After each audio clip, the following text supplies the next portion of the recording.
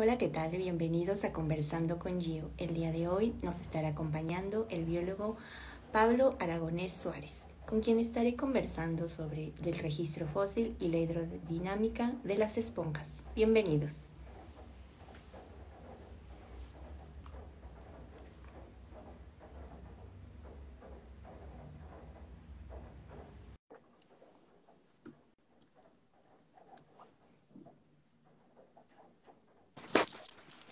Hola Pablo. Hola. ¿y tú? Muy bien, también feliz y ya por fin de vacaciones, así que todo muy bien. Ah, qué bien estar de vacaciones. Aquí es más o menos, es como, estoy en, en el intermedio en el como que estás de vacaciones y no, entonces ya hablaremos de eso. Oh. Pero es que hace un montón de calor, Uy, no me digas eso. pero bueno, está, está bueno tener el calorcito de vez en cuando. Así es. Bueno, pues este, me da mucho gusto tenerte aquí con nosotros y pues te iré presentando en un momento porque estoy teniendo algunos problemas técnicos, pero eres biólogo egresado de la Facultad de Ciencias, ¿cierto? Y actualmente pues estás terminando una maestría allá en Canadá y ya nos estás platicando un poquito de, de qué trata todo esto y pues tienes amplia experiencia, ¿no? Eres, trabajas con paleontología, un poco de invertebrados y bueno, ya nos estarás contando más adelante tu, tu historia. Y pues para dar inicio, ahora sí que queremos conocer un poco sobre ti y qué fue lo que te motivó a estudiar biología.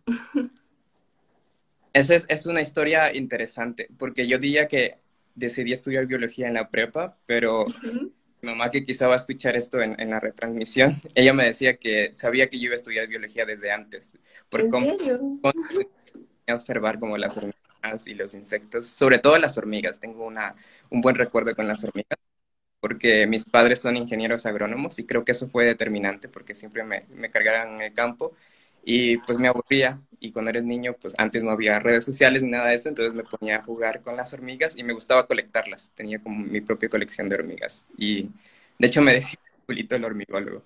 Oh. Creo que fue mi primer taxón del que me enamoré, las hormigas.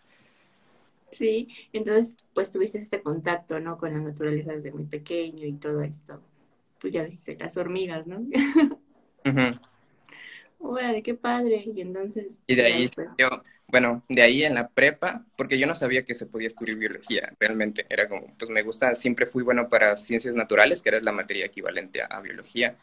Se me hacía fácil aprenderme estos conceptos, pero yo no sabía que se podía estudiar biología realmente. Y en la prepa vienen como diversas carreras y demás, y había una que me llamó la atención en, en UNAM, de ciencias dije, qué padre sería editar genes y todo eso, pero es una de esas carreras que no puedes entrar directamente, que es como, quiero estudiar ciencias genómicas, sino que tienes que entrar a otra licenciatura, ¿no? Y entonces me puse a ver plantas de biología y dijo, cada que leía cada una de las materias decía, eso suena muy interesante, quiero, quiero aprender todo sobre esto. Y ya, Ujú. ya y dije, no, esto, esto es lo mío, no, no me puedo mover de aquí. Ok, biología entonces fue la, la elegida, ¿no? Y creo que fue una decisión que, pues no te arrepientes como buen biólogo. ¿no? No, Que la has disfrutado al máximo. me gustaría volverla a estudiar. Mira, ¿cómo crees? Oye, y bueno, precisamente pues tú estudiaste acá en la, en la Facultad de Ciencias, en la UNAM, y cuéntanos cómo fue esa experiencia. Eh, ya sabes, al principio pues todo el mundo sufrimos un poco, ¿no? Con las materias de tronco común o demás, pero ¿a ti cómo te fue? Me fue bastante bien, creo. Bueno, no tengo experiencia de haber estudiado como licenciatura en otra parte, pero fue como toda la magia porque yo vivía en, en Tabasco y fui a verme a la, a la Ciudad de México, fue como, wow, todo maravilloso. Y desde el primer día fue como, tenía una postura muy buena, desde el primer día fue como, bueno, ustedes van a ser científicos. Y yo, "Uf", aquí me escribí, bueno, vamos a ver. Y la facultad bueno, creo que todas las carreras de biología comparten esto de salir a campo y demás. Entonces, creo que esa fue la parte más de, de estar en biología. Las salidas a campo, pero sobre todo tener contacto directo con los investigadores, que ellos fueran tus profesores, creo que eso también eh, te cambia mucho el panorama. Claro que sí, eso sí. Como que tener ese, como dices, ese aprendizaje, ¿no? Directamente desde ellos, ese contacto y aprender directamente de ellos. Y en las prácticas de campo es lo mejor, ¿no? creo que sobre todo darte cuenta de que la ciencia es algo que tú puedes hacer, porque creo que siempre vemos la ciencia como desde abajo de, ah, los científicos hacen esto, pero en realidad date cuenta de que tú puedes estudiar una carrera científica y que puedes hacer ciencia de nivel, eh, estando en tu país si quieres o moviéndote, pero que lo puedes hacer es algo que, que también fue maravilloso, darme cuenta de eso. Qué padre. Oye, y entonces, pues te tocó mudarte, ya dijiste, desde Tabasco a la Ciudad de México, pues para estudiar biología. ¿Y cómo fue ese cambio? ¿Rápido te adaptaste o si te costó? Eh, no fue tan fuerte porque ya me había cambiado de país antes. Yo no nací ah, en no sé si creo que no sabías eso. Nací en y dentro de Ecuador mismo, como mis papás son ingenieros agrónomos, siempre están como buscando dónde están las plantaciones, ¿no? Entonces siempre he vivido como cerca de en lugares calientes, en, Guayaquil, después en una ciudad que se llama Quevedo, pero en Ecuador. Ya he movido de ciudad varias veces, después okay. país, a Tabasco. Entonces, creo que esa fue la transición más grande. Después de eso ya, ya me puedo mover de ciudad así como si nada. Ya no hay problema. ¿eh? Después, Tabasco a la Ciudad de México fue realmente no tan complicado, por eso ya tenía experiencia en cambiarme de ciudad. Ah, no, pues qué, bueno, ¿no? A lo mejor fue un poco el clima, ¿no? De que pues, la Ciudad de México es más fría, más templada, y Tabasco sí es más caluroso, ¿no? Sí, me acostumbré muy rápido al clima de la Ciudad de México, entonces cada que volvían las vacaciones a Tabasco era, era horrible, porque era como, y era como un calor normal, entonces todo el mundo estaba como sin nada, y yo... Ah. me derrito, ¿no? como estoy ahora. Sí, justamente, ¿no? Oye, y justamente en la licenciatura hiciste, pues tu tesis fue sobre una caracterización morfométrica de amonites, ¿no? Del Cretácico inferior. O sea, ¿cómo llegaste a la paleontología? Oh, esa es una historia que justo por los profesores, y de hecho no sé, no lo vi si se conectó aquí, pero eh, Sergio González Mora fue una influencia muy, muy importante para mi transición hacia la paleontología.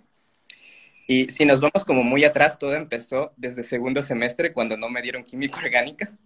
Entonces, arreglos de cómo, cómo meter mi, semestre para no quedarme como tan atrasado. Entonces, desde ahí empecé a meter materias a lo loco. Empecé con origen de la vida en segundo semestre y desde ahí todo fue como para allá. Entonces, creo que en cuarto semestre llevé una materia que se llama Eventos Principales en la Evolución de la Vida Fanerozoica, que es, es un nombre muy largo, pero esencialmente son todos los eventos que han ocurrido desde el Cámbrico hasta hoy. Y me gustó tanto esa materia porque era como viajar a través del tiempo. Entonces me di cuenta que a mí me gustaba mucho de viajes en el tiempo y demás, pero me di cuenta que es algo que puedes hacer a través del registro fósil. Y dije, quiero estudiar algo de, de paleontología. Y eh, la vez que ves un fósil por primera vez y te das cuenta de que fósiles están por todos lados, sobre todo en la Ciudad de México, que todo está hecho con roca caliza. Entonces, si realmente te pones a ver, hay fósiles en todos lados, en los baños, en el metro, en todas partes. Eso me maravilló mucho. Y eh, bueno, creo que muchos, bueno, no sé qué tantos de aquí están en, familiarizados con lo que ocurre en la Facultad de Ciencias, en, en UNAM, que eliges un taller, ¿no? En los últimos semestres pero no había el taller de eh, paleontología de invertebrados, que era como que el que me interesaba. Me metí al de paleobotánica, que también tenía un nombre muy, muy largo, que ya ni siquiera me lo recuerdo era como, era paleobotánica entendiendo el pasado a través del presente y entendiendo el presente para entender el pasado, algo así. No soy muy fan de la paleobotánica, pero el concepto integral que tenían entre lo paleo y lo neontólogo es, eh, creo que también influyó mucho en mi carrera, en ver al pasado la paleontología no solo como paleontología, sino para entender los procesos que están ocurriendo ahora y entender los procesos que están ocurriendo ahora para poder entender mejor el registro fósil. Y uno de los profesores en ese taller no era paleobotánico, sino que era eh, geólogo, que fue el que terminó siendo mi asesor de tesis, es eh, Josep Moreno Betmar. Eh, él es español y desde chiquito empezó a ver amonites. Creo que su primera publicación iba en la prepa, su primera publicación de amonites, entonces amonites full. Y, ahí, entonces empecé con amonites, pero yo quería hacer como algo de evolución. Y dijo, yo tengo el proyecto para ti. Tengo estas tres especies que se parecen un poquito, pero vemos como una progresión gradual en la forma, en las costillas, que son, de hecho tienes una monita ahí atrás en tu, en tu fondo. Justo. Las que están ahí son, se llaman costillas. Entonces tenemos tres especies y las costillas se van como en, no, no, la primera es ensanchada y se van como haciendo finitas. Y entonces me puse a ver qué puedo hacer de aquí de evolución y me puse a hacer un análisis morfométrico, que es básicamente ver eh, medir y ver cómo van cambiando esas medidas a través del tiempo. Y lo interesante es que se correlacionaban con el cambio en el nivel del mar, que se puede ver por sí. Entonces, conforme iba aumentando el nivel del mar, la concha se hacía más finita y tenías como mejor eh, hidrodinámica. También ahí empecé con estos conceptos de hidrodinámica y demás.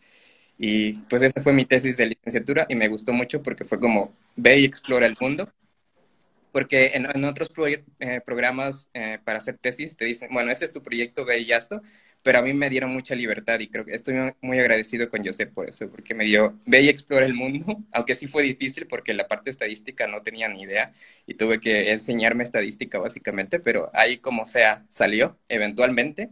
¿Qué el proyecto? Y esa parte de, de Amonites, que todavía les tengo cariño, porque son, son bien curiosos. Ok, mira qué padre que tuviste esa oportunidad y como bien dices, pues tuviste pues chance, ¿no? De explorar todo y, y pues aprender y demás. Y justamente ya estoy viendo tu reseña de que me mandaste y antes de eso hiciste tu servicio social en el Instituto de Ecología de la UNAM y en el Jardín Botánico de Gaderita Querétaro. O sea, como los intereses dispares que tenía. Lo que une todo lo que hago creo que es eh, la evolución. Todo lo que diga evolutivo por algún lado yo me meto a ver qué tal. Entonces, en este caso sí tenía que ver con evolución, pero no era el principal enfoque del proyecto. Eh, estaba con mi compañera Damaris Morón, que no usa Instagram, pero quizá lo vaya a ver en algún momento. Entonces, ella estaba trabajando eh, con tilancia, que es esta cosa que se parece al heno de Navidad, pero bueno, el mismo género, pero son como unas bolitas que crecen en los árboles. No deberían crecer ahí, pero son plantas epífitas. Básicamente crecen encima de otras plantas. Y había algo interesante con eso, que es parasitismo estructural, que es una palabra que yo no la había oído antes. Conocemos a los parásitos como cosas que se meten dentro del cuerpo de otras cosas y en los nutrientes o los, los mosquitos que te chupan la sangre, ¿no? Pero este nuevo concepto de parasitismo es parásito de espacio. O sea, lo que hacen estas plantas es crecen una encima de otras y llega un momento en el que crecen tantas que tiran la rama de los árboles. Entonces llegan a ser un problema realmente, sobre todo eh, para Prosopis eh, levigata, que, era la especie que estaba estudiando Damaris. Entonces era aplicar controles y ver qué, qué cosas se podía usar para controlarlo. Pero yo estaba como fascinado con el concepto de parasitismo estructural. Y dije, yo, y donde hay campo también, ahí me meto. Entonces fue fuiste para allá y aprendiste igual otras cosas que pues, te están ayudando y al final es bueno, ¿no? aprender un poco de todo y pues involucrarnos. No, están, no quedarnos en una sola pues rama, ¿no? Sí, creo que hay algo para los que están todavía en, licenciatura, no sé si hay alguien por aquí en licenciatura haciendo tesis, porque Dama, yo hice mi servicio social ayudando a Damaris y ella hizo su servicio social ayudándome en la tesis. Entonces, si tienen por ahí alguien para hacer servicio social eh, con ellos, pues alivianan su tesis, ¿no? No les van a dar, pero... Pero se aprende. Oye, también fuiste a hacer una estancia, ¿no? En la Universidad de Regina, en Canadá. Sí. cuéntanos esa experiencia. ¿Por qué allá? Porque me llegó un correo de la UNAM diciendo, hay esta beca, y yo dije, bueno, aplicar. Aprovecho, ¿no? Sí. y creo que me ayudó mucho el estar en paleontología. Entonces creo que todo fue un caminito que me fue llevando hasta este momento, porque eh, son unas becas que son muy peleadas, pero por suerte no hay tanta gente en paleontología. Entonces mm, fui me presenté, bueno, no hay nadie, y ya, y fui.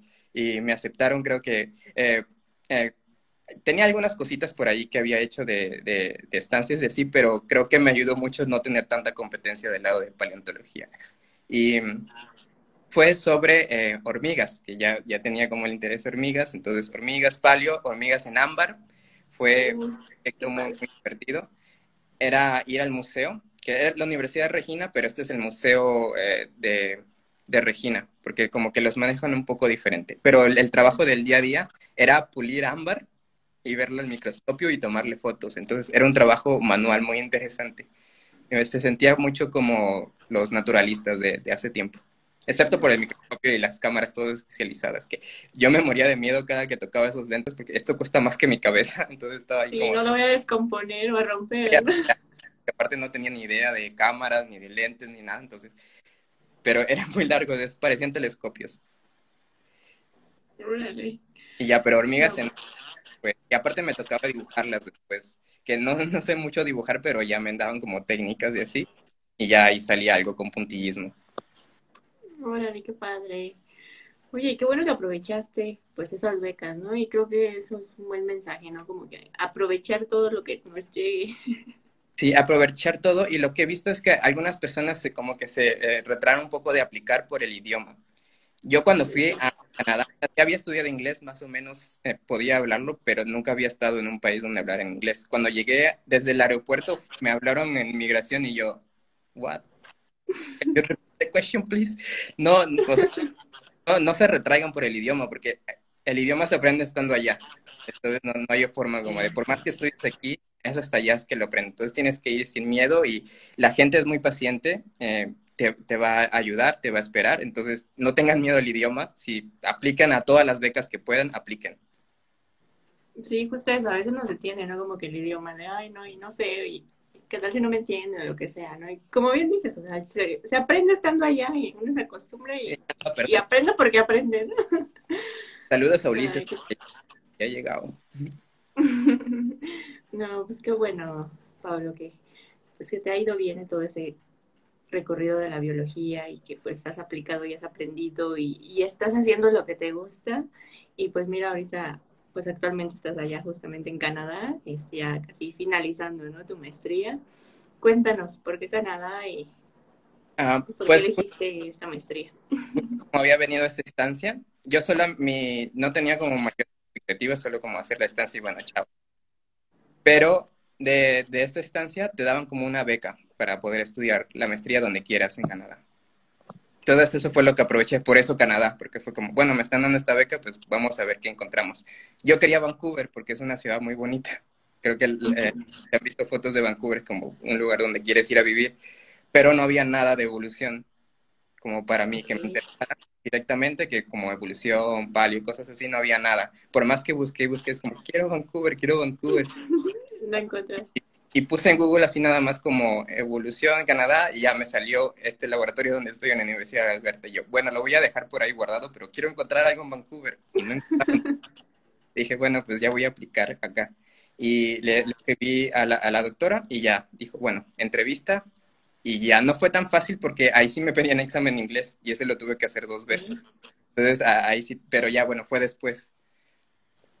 Y y ya, creo que esa fue, esa fue la, la, cuestión, básicamente por esta beca, entonces todo fue como un caminito, ¿no? Que me fue llevando.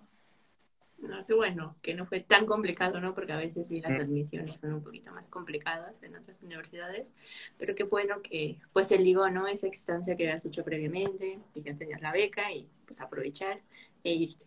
Qué lástima que no fue en Vancouver, pero pues ya andas por allá. Oye, y justamente, ¿qué es lo que estás haciendo ahorita en la maestría? sé que trabajas con algo de esponjas, pero a ver, tú cuéntanos más.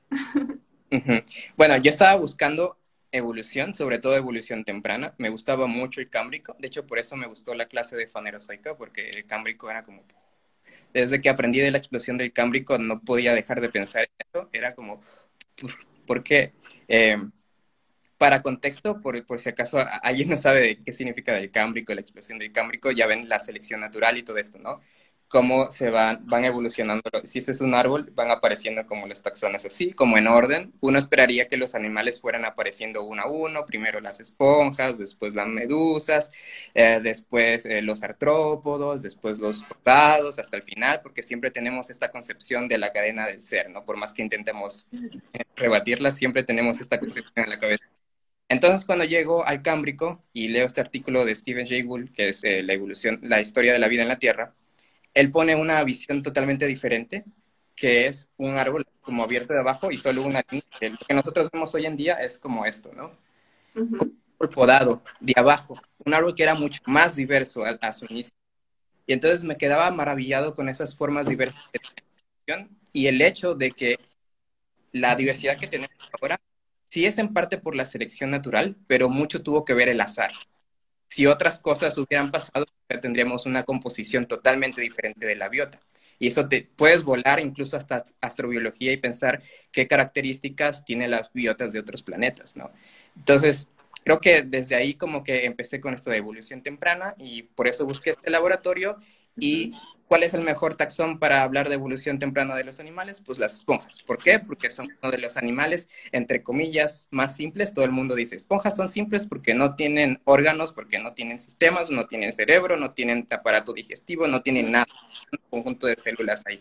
Eso es como la concepción. Ya después que me metí en el mundo de las esponjas vi que en realidad no, no es tan así. Porque es, esto, otra vez tenemos esa concepción de la cadena del ser, entonces pensamos que lo que no tiene cosas es más simple que lo que tiene mucho, ¿no? Pero en realidad las esponjas están muy adaptadas para es filtrar agua. Eso es todo lo que hacen. Entonces, lo que yo hago, pues, es estudiar eh, morfometría, porque ya sabía un poco de morfometría, entonces intentaba ver qué parámetros morfométricos nos describen a una esponja. ¿Y por qué? Justo como las esponjas están en la base del árbol, la gente está buscando la primera esponja fósil, ¿no? Antes de Cámbrico, antes de la explosión de toda esta diversidad, la idea es de que hay eh, esponjas fósiles en esta etapa y nos pueden hablar de una transición más lenta hacia la evolución de todas las formas. Entonces la gente empieza a describir cualquier cosita que ve en el registro fósil, una mancha, dicen, esto es una esponja, miren, tiene como una forma de burbuja o de cilindro, debe ser una esponja.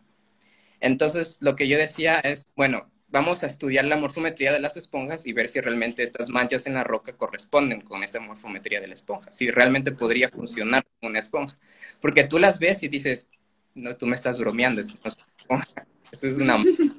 Entonces quería ver si al menos las proporciones eh, se correspondían con una esponja de verdad. Eso fue una parte del, del proyecto. Y yo cuando estaba trabajando en esto, siempre leía en la literatura, no, el, flujo pasivo de las esponjas, porque solo son tubos que conducen agua y que...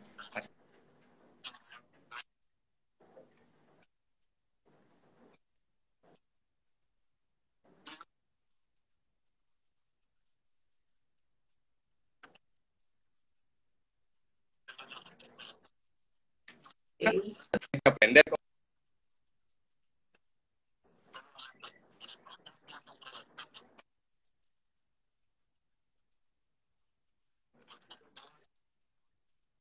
actúa el organismo con su medio físico. Y ahí entré con este concepto de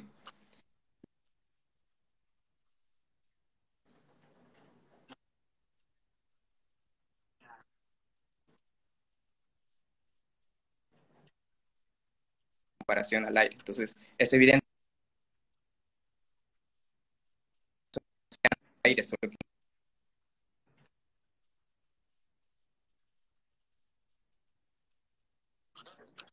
la dinámica. Estudiar cómo reaccionaba la esponja a cambios en, en la hidrodinámica, bueno, en la velocidad con que les llega el agua y cómo cambia su metabolismo. Entonces, esas fueron como las dos avenidas que tuve de mi trabajo. Ok, qué interesante, Pablo, todo lo que nos estás hablando y el por qué llegaste, ¿no? Desde con la hidrodinámica de las esponjas, por ahí están diciendo de que no se escucha bien. Van a tener que, que estoy pensando. Es que tenemos un poco de interferencia, quizá porque acá en la Ciudad de México está lloviendo un poco, pero esperemos ahorita se, se arregle. Eh, bueno, pues en lo que por aquí justamente te dejaron una pregunta, Pam Tapia, que dice que si es posible hacer morfometría con espículas fósiles. Sí, totalmente. Eh, con las esponjas son de silicio, entonces puedes ahí disolver la roca y, usar morfometría. Requiere de mucha paciencia, pero sí, se puede. Entonces es una, es, una, es una buena idea. Eso fue lo que yo intenté en un principio, hacer morfometría con las espículas, pero en las esponjas muy tempranas no todas tienen espículas. Entonces quería buscar como algo más general y me fui con la forma, como el, outline de la esponja. Ok. Y dicen que pues bien. Sí, ya, ya se escucha mejor. Bueno, pues invito a todos los que nos están acompañando que si tienen más preguntas para Pablo, las dejen en los comentarios. Y mientras tanto, Pablo, bueno, vamos a, a cambiar un poquito, bueno, no tanto, sino que también otra de tus pasiones es justamente la divulgación, porque tú también haces divulgación científica, incluso pues tienes un, un, este, un programa, unos, este, un podcast de la biozona. Platícanos cómo nació todo esto. Bueno, este proyecto justo como te decía al inicio de la plática, que no sé si lo escucharon, ahora tengo dudas, pero cuando llegué al UNAM y me di cuenta de que yo puedo estudiar ciencia y que cualquiera puede estudiar ciencia, dije, no, o sea, la gente tiene que saber de esto, porque no hay mucha gente en la prepa, escuchaba mucha gente que decía, yo quiero estudiar para eh, resolver, no sé, problemas así muy puntuales de, de, resolver enfermedades y demás, pero realmente no sabían que eso estudiaba para eso. Entonces yo creo que es importante decirle a la gente que cualquiera puede estudiar ciencia y no solo eso, sino que la ciencia es algo que todos debemos saber y mientras más abierta sea, mejor nos va a ir como sociedad en el futuro. Y quiero poner mi granito de arena, aunque sea, y decir, bueno, estuve contribuyendo para la, para la, difusión del conocimiento, sobre todo porque la UNAM me parece un proyecto muy, muy importante porque es, es, básicamente gratis. Entonces, ya que tuve esta oportunidad para estudiar gratis, pues también me gustaría devolverle un poco a la sociedad este, porque puede ir a las prácticas de campo si las pagas, pero en general todo el, uso de material en laboratorio, eh, los profesores que básicamente dan clases gratis también. Entonces, me, me, tenía esta idea como de devolverlo un poquito y estuve por mucho tiempo como masticando esta idea de quiero, quiero hacer una revista. De hecho, me acuerdo en la parada del Pumabús en que estaba cuando se me ocurrió la biosana, estaba afuera eh, de, psicología, como esperando pues, para ir a, geología, para mi servicio, eh, no, en ese momento ya estaba en la tesis y se me ocurrió ponerle la biozona, porque justo estaba hablando de biozonas en geología, que no sé si sabes qué es una biozona o has oído así. Creo que es un concepto muy, nicho de, geología. En geología se usa un montón porque ya ves que tienes el, el carbono 14 para datar cosas, pero con las rocas muy antiguas el carbono 14 no sirve para nada. Tienes que usar isótopos ahí este, eh, diferentes. El otro problema es que en las rocas sedimentarias no puedes usar esta datación con isótopos para nada, porque las rocas sedimentarias se forman por la erosión de otras rocas, entonces cuando datas una roca sedimentaria estás datando la roca madre, la roca original. Entonces te da una fecha que no es. Entonces lo que hacen los geólogos eh, y los paleontólogos es usar una datación relativa. Entonces ven las líneas en los sedimentos y comparan esta con lo que está en otro lado. Y es más fácil si tienes fósiles entonces, un fósil, hay, hay unos son mejores que otros, pero hay unos fósiles que viven solamente durante un determinado tiempo en, el registro fósil, entonces, en determinado ambiente también. Entonces, cuando tú ves ese fósil, tú sabes dónde estás, en tiempo y en espacio. Y eso es una biozona. Cuando tú puedes reconocer la cantidad, el contenido fósil, tú sabes dónde está. Y las biozonas te van armando este tiempo geológico sin necesidad de saber el tiempo absoluto con isótopos. O sea, es una forma mucho más práctica de trabajar y de ver el tiempo. Entonces, las biozonas, otra vez, son una máquina del tiempo que te permiten ver y saber dónde estás y qué, y qué es lo que estaba ocurriendo. Y dije, bueno, este es un concepto muy cool para hablar eh, en un podcast sobre la historia de la vida en la Tierra, las biozonas. Y fue así como nació el nombre de Biozona, primero como una revista, pero realmente es muy difícil conseguir así como eh, gente que escribe para una revista y sobre todo gente que lea una revista, porque es, muy difícil ahorita poner a la gente a leer, pero los podcasts están muy trendy hoy en día. Y yo desde mucho tiempo antes seguía un podcast que se llama En caso de que el mundo se desintegre, que de hecho hay varias personas de ese podcast aquí. Aquí veo a esa Radioactiva y a Salma, por ejemplo. Y es un podcast que lleva más de 20 años al aire y lo hacen todos los días y la, la pasión con, que transmiten la comunidad que se crea, dije, no, esto es maravilloso. Mira, ya están los corazones. Em, ¿Por qué no? Por los podcasts y mi pasión por la ciencia, ¿no? Y hacer esta...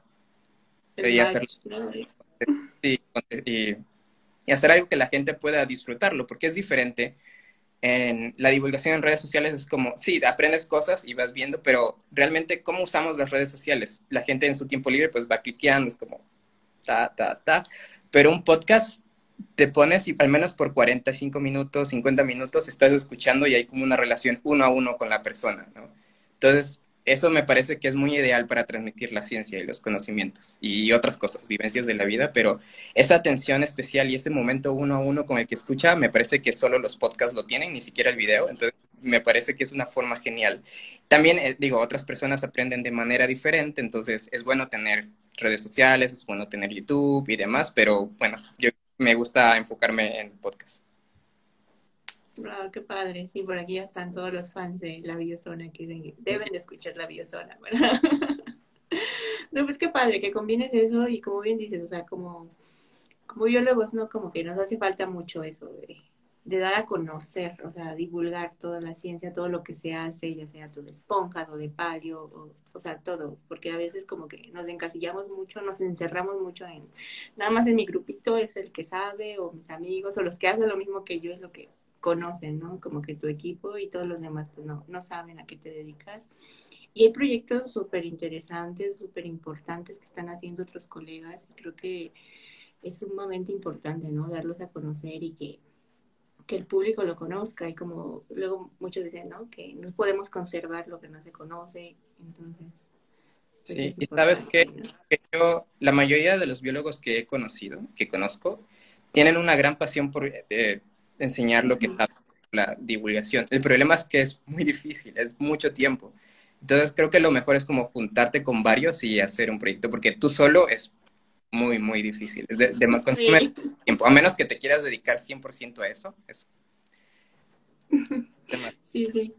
Toca hacer como ese circo, maroma y teatro a veces como para eh, organizarte, pero sí es como muy Por eso, en la, en la, biozona hemos, ya tenemos como un, un, equipo que empecé yo, pero ya mi hermano fue el primero en ayudarme porque dijo, bueno, te ayudo con la página y demás. Damaris también estuvo eh, ayudándonos y Em, fue con la, con la que empecé a grabar los episodios y todo eso y tuvimos algunas ideas ahí para cortinillas y demás. Eh, después llegó Tierra, bueno, Telma, que por aquí creo que está. También Aileen, que es una chica que conocí a través de la radio, a través de Encaso. Ella y vive en, en, Brasil ahora. Entonces ella nos está, nos está ayudando. Y Lupita, que su alias es depresión sináptica, que ella lo conocía en la facultad, le gustan mucho las neurociencias. A, a, Tierra le gustan las bacterias, entonces tenemos ahí un equipo de astrofísicos, bacterias y eh, neurología. Eh, B. Serraida, que es eh, Mariana, también le, le, gustan las bacterias, entonces tenemos ahí un, un equipo. Y también estamos eh, extendiendo el grupo para obtener colaboradores y que escriben en el blog, entonces estamos como creciendo como pequeña comunidad. No, y está súper padre, así que todos los interesados ya saben a quién dirigirse por si quieren formar parte del equipo y sí, porque y además habla solo de tu tema porque obviamente es lo que conoces y bueno, la gente quiere un poquito más de variedad, ¿no? Porque no van a estar leyendo un blog sobre esponjas toda la vida, ¿no? También zonas, un poquito de esto, de lo otro. Sí, claro, o sea, tener ahí temas variados, ¿no? Para que todo el mundo aprenda un poquito y sea más, pues, relax, ¿no? También. Bueno, pues sigo invitando a todos los que nos están acompañando. Si tienen preguntas, déjenos en los comentarios. Y mientras tanto, Pablo, ¿nos puedes compartir eh, cuál ha sido el mayor reto que te ha tocado enfrentar hasta ahora? Uno de tantos que nos quieras compartir. El mayor reto. Bueno, creo que es en retrospectiva, porque cuando yo me vine para acá, dije, yo no pensé en las consecuencias ni nada, y solo dije, bueno, me quiero ir.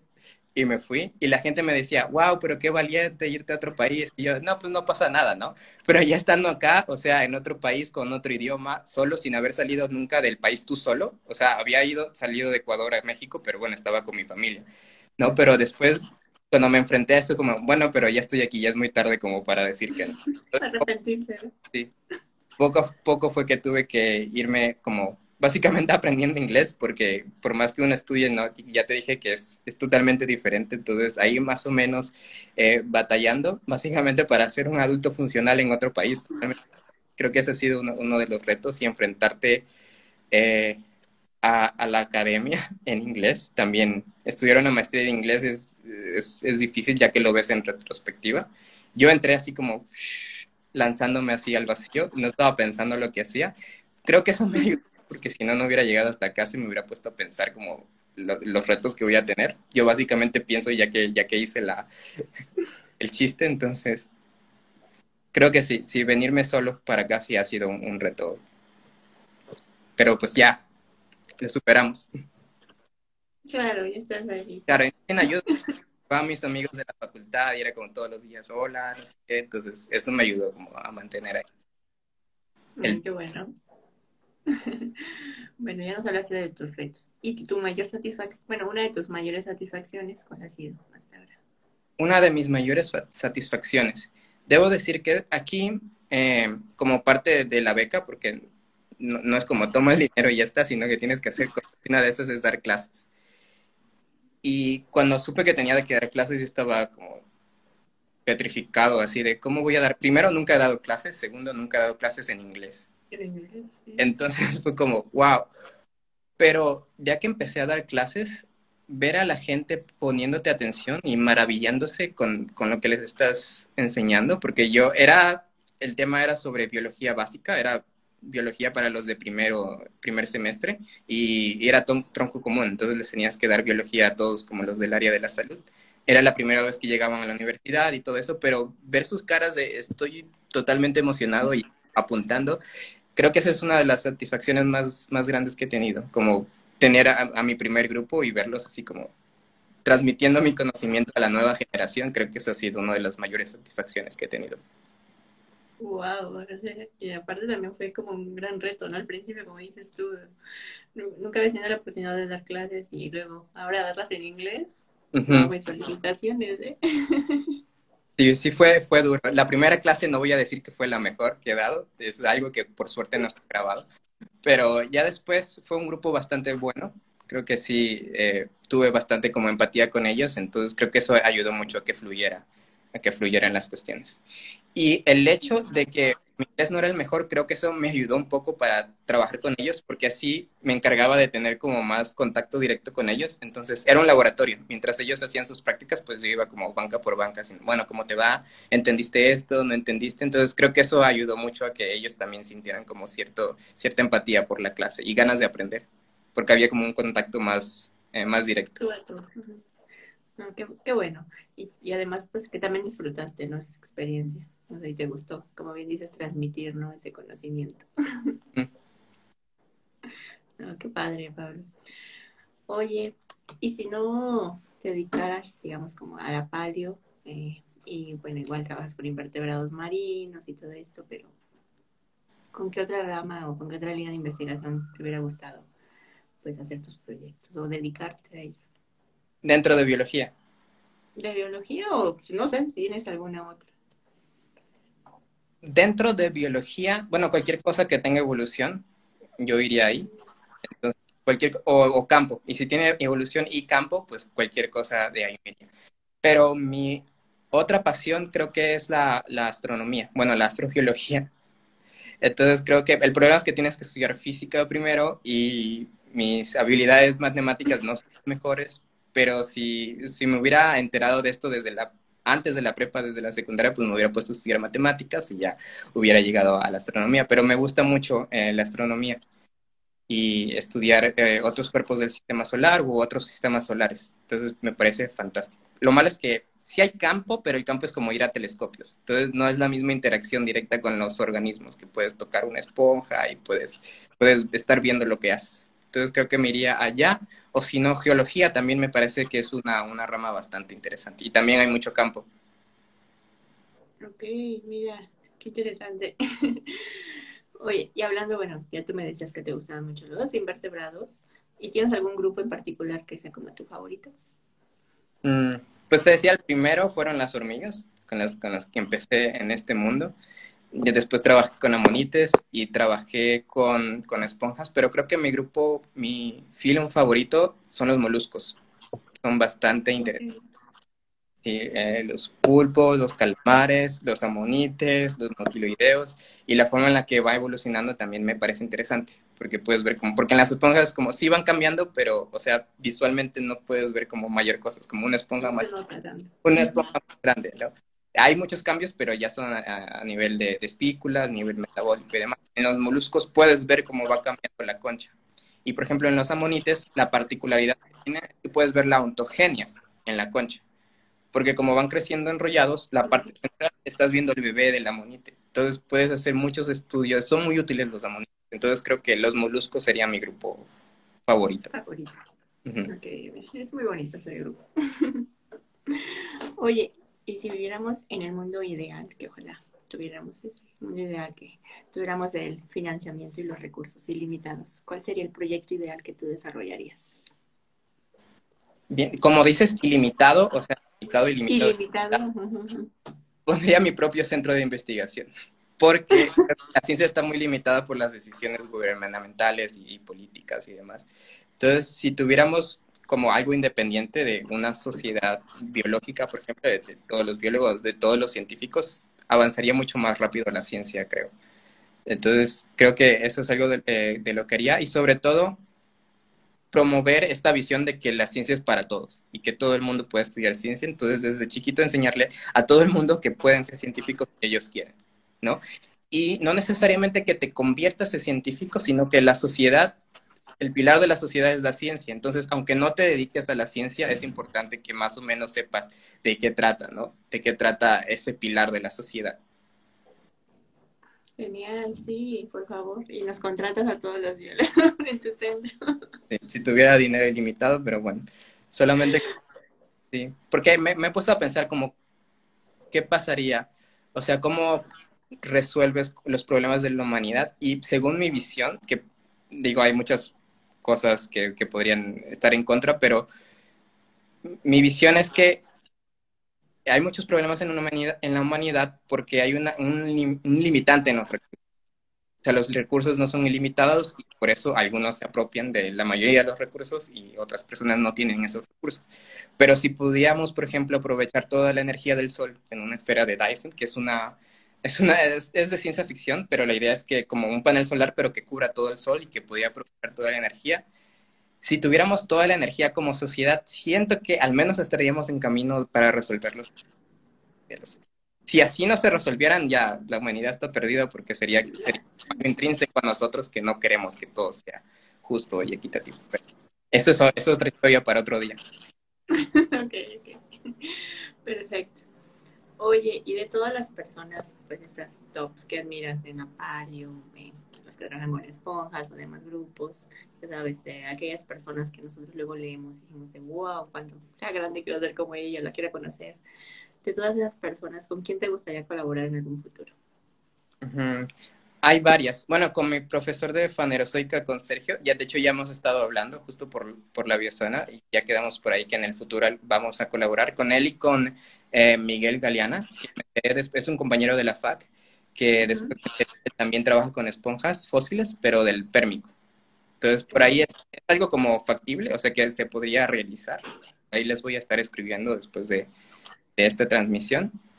Y sí, es algo que podría ser. Y Después hay otra persona que se llama Javier Ortega, que estudió en la Facultad de Ciencias también, y ahorita está en Harvard. Entonces es como muy lejos de allá, pero, o sea, es como mi sueño quiero de, trabajar con él. Porque él está sentado en la misma silla que ocupó Stephen Jay Wood en el Museo de eh, Ecología Comparada. Entonces es como un sueño guajiro de, al menos pisar el mismo suelo, ¿no? Que Stephen Jay Wood.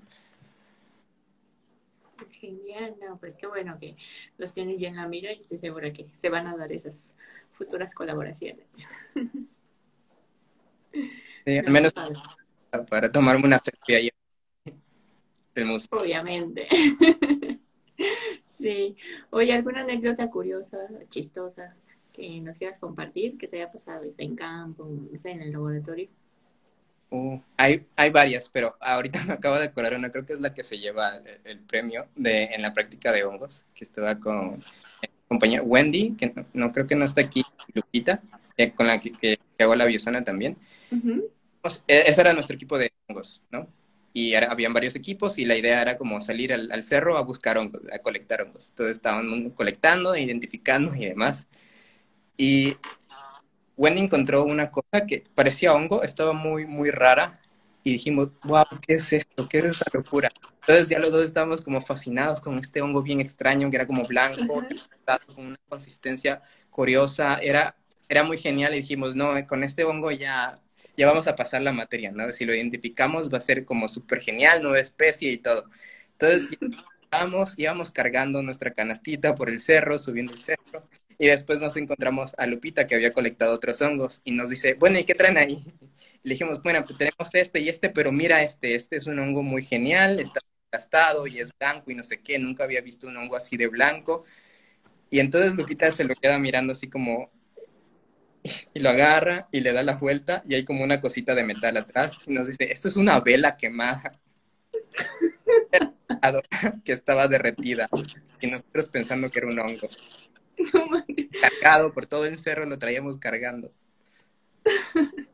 Bueno, pero menos mal les dijo pues a tiempo, ¿no? Antes de ir con su profesora a decirle de su nueva especie. Sí, publicarlo y todo. Ay, no, pero sí, creo que a todos nos ha pasado algo parecido. Sí, pues, sigo invitando a todos los que nos están acompañando que si tienen preguntas para Pablo las dejen en los comentarios.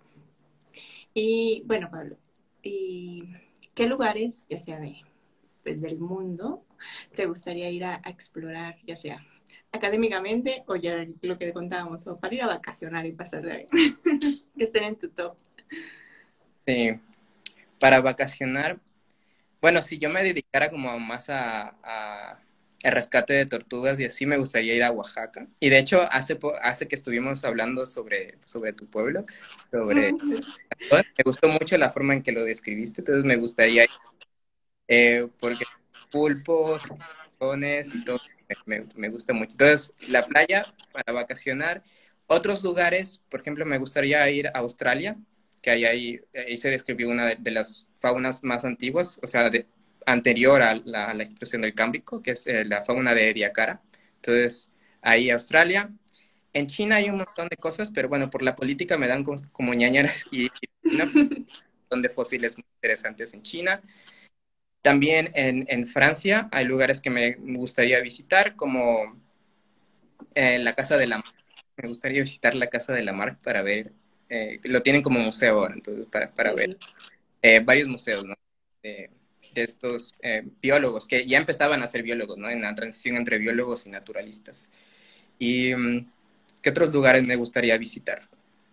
Aquí en Canadá, del otro lado, porque ya me tocó ir a Burgess Shell, era como mi lista de lugares para ir. Por suerte estoy aquí cerquita y fui, pero del otro lado hay otro lugar que se llama Newfoundland, ahí también hay fósiles de Diacara, entonces también me gustaría visitar ahí para ver, para ver qué hay. Ok, bueno, pues a mi pueblo, ya sabes, cuando quieras eres bienvenido, ya sabes que yo parezco embajadora turística, que ya ando promocionando, pero bienvenido cuando gustes.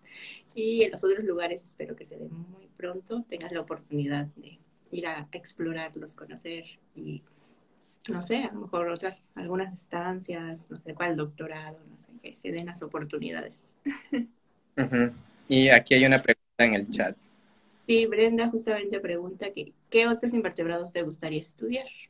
Oh, siempre querido estudiar equinodermos. Me gustan mucho las formas que tienen en, sus conchas y son muy geométricas y demás. Me gustaría mucho estudiar equinodermos, no he tenido como la oportunidad. Y el problema es que cuando conforme te vas especializando ya cada vez es más difícil salirte y otra cosa, pero sí, equinodermos ha estado en mi lista desde, desde hace mucho tiempo. También, sí, foros, que para los que no son biólogos son unas cosas que parecen medusas, pero no son, y también son, eh, importantes porque están ahí en la base entre esponjas y tenóforos. Ahí está esa discusión de cuál fue el primer animal. Ok, no, pues sí, equinodermos primero y ya después les tenemos. Oye, ¿y quién es o quién ha sido tu inspiración, ya sea en la biología o en lo personal, no sé, lo que tú nos quieras compartir? Pues he tenido un montón. Creo que estoy agradecido de esto, la gente que me he topado en el camino me ha como ido llevando. Otra vez es como un caminito desde que todo me ha ido llevando hasta acá, ¿no? Eh, muchas personas. Bueno, creo que en general que todos tienen a sus padres, ¿no? Como máxima referencia al inicio y creo que estar en, el campo eh, fue algo determinante para mi carrera, entonces estoy muy agradecido a mis padres y tenía una tía que me regalaba libros de Nat Geo, creo que eso también influyó mucho cuando, era niño, entonces me ponía a, leer los, estos libros de National Geographic, creo que eso, eso también influyó mucho y, que me ayudaba como aprender más, ¿no? Y a leer. Eh, tuve un amigo en, en, la prepa que fue quien me enseñó sobre la UNAM. Eh, lamentablemente él falleció, pero él influyó mucho en mi decisión de venir a la UNAM, porque yo antes ni siquiera, yo ni idea de qué era la UNAM, que se podía estudiar ahí, mucho menos estudiar biología, ¿no? Pero él fue el que me dijo, mira, yo estudio en UNAM y la UNAM está chida, puedes venir y hacerse el examen y ya ves qué onda, ¿no?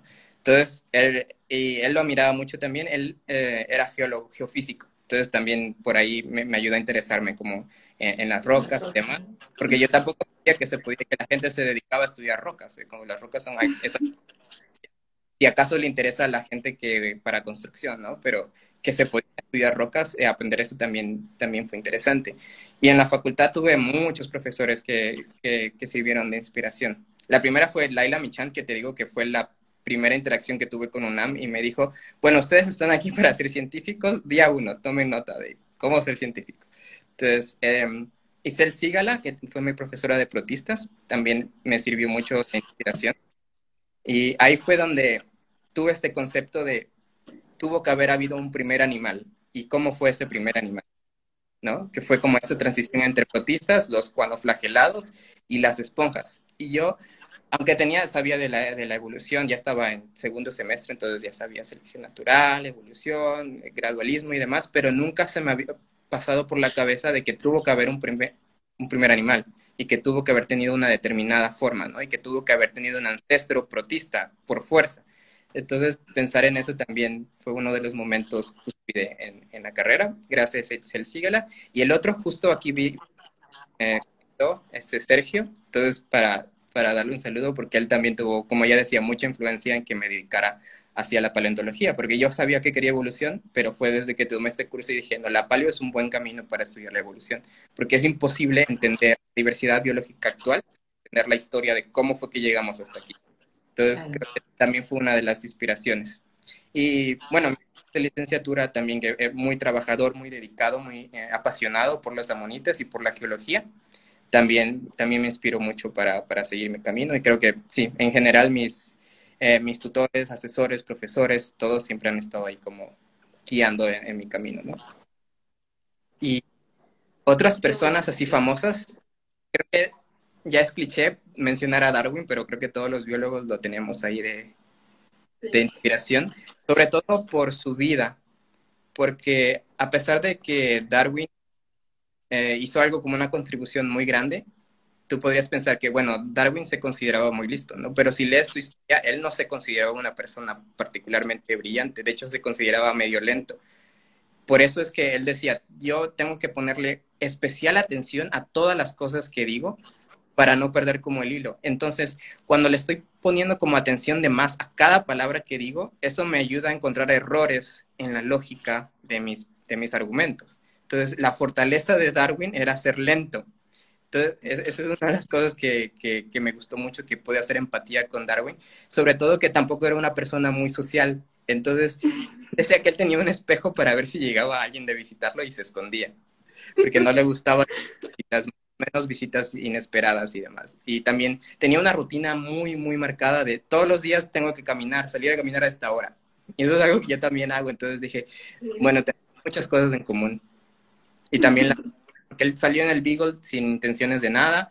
No, bueno, lo, habían puesto como a estudiar medicina y, no le gustó, estudiar para el crédito tampoco le gustó y fue como, bueno, pues me voy a explorar el mundo a ver qué sale. Y, a ver qué encuentro. A ver qué Y se topa con, con esta idea de que las cosas van cambiando y no lo publica de inmediato, sino que se pone a ver y a ver y a ver y a ver y a ver, hasta que llega Wallace y dicen, mira, encontré esto, y dice, ay no, bueno, hay que, ya hay que... Me es, es, una historia con la que también me identifico bastante y aunque sea cliché, creo que todos los biólogos se identifican con Darwin y lo ven como, como inspiración suprema, pues también para mí, ¿no? No, no soy la... Genial. Bueno, pues aprovechen amigos estos últimos minutos que tenemos con Pablo. Si tienen más preguntas o felicitaciones, pues déjenlas en los comentarios. Y Pablo, ¿algún consejo que nos quieras dar pues a los futuros biólogos o a los que se quieren dedicar a palio? ¿Qué les puedes, decir? Para futuros biólogos, o sea, si todavía no han entrado a la carrera o están en los primeros años, mi recomendación es que se metan a algún lab sin miedo, que envíen correos y digan, quiero participar en esto de ayudante, de de lo que sea, ¿no? Aunque sea lavar las cajas Petris, en un laboratorio que les interesen, envíen correos, no tengan miedo de enviarle correo a los profesores de asignatura, titulares, envíen correos y empiecen desde temprano a, ganar experiencia, porque eso les va a ayudar luego a ganar otras becas, otras eh, oportunidades en el extranjero o, en México en, en otros lugares, ¿no? Entonces, desde, desde que empiecen, busquen laboratorios para estar, sobre todo para ganar experiencia y cuando ya les toque hacer su tesis, va a ser como un trámite porque ya saben hacer, ¿no? En, teoría, un, eh, un arrastre, ¿no? La tesis, pues ya vas al menos saber qué investigación, de qué se trata y cómo, y cómo funciona. Y también para los que ya están en, ya saliendo de la carrera, también es enviar correos a todo el mundo. No tengan miedo por el nombre, envíen correos y apliquen. Y no tengan miedo al idioma, porque de verdad eso es, es, lo de menos. Con el tiempo ahí van, van aprendiendo. Y creo que ahí em, me, me, acordé ahorita de que es no, el, el genio, ¿no? El, premio Nobel y no sé qué. Pero si escuchan su inglés, no era el mejor inglés del mundo y eso nunca lo retrató. nunca se puso a pensar, no me voy a ir. Esta... Digo, tenemos la guerra también, ¿no? Que estaba ahí como empujándolo para salir, pero realmente el inglés no es lo que más... Tu eh, proficiencia con el inglés no es lo que más importa, eso viene después. Lo que tienes que seguir son tus ideas. Yo tengo, yo quiero investigar sobre esto en mi evolución temprana de los animales y voy a buscar el laboratorio que me dé las oportunidades para estudiar esto. Entonces, al menos desde mi perspectiva, lo que hay que seguir son las ideas y sin miedo a nada, sin miedo al éxito. Sobre todo. Quitarnos esos miedos, ¿no? Y irnos con todo. Y no pensar tanto las cosas, ¿no? Ya, que estamos como tú, que ya después de que ya estemos allá, ya nos pongamos a pensar, pero... ya, ya. ya sí tengo dinero, ¿con qué como este mes? Pero ya, ya está así que... pero ya estoy en otro país. Acá ven que McDonald's baja, no hay problema, pero. Sí. Bueno, Pablo, pues estamos llegando al final de esta increíble charla que, hemos tenido y la verdad te quiero agradecer mucho por tu tiempo, porque nos hayas acompañado y pues, pues, pues contarnos sobre ti, sobre tus proyectos, sobre tus pasiones. La verdad es que muchas gracias, mucho éxito en todo lo que viene, todo lo que estás haciendo. Y pues a seguir con la biosona también. No, pues muchas gracias por invitarme también y por, tenerme en tu programa. Muy bueno. Gracias. Bueno, y también muchas gracias a todos los que se conectaron esta tarde, que nos estuvieron aquí acompañando, mandando sus preguntas. Muchísimas gracias y pues los espero el próximo martes con una nueva invitada. Saludos, Pablo. Adiós. Adiós.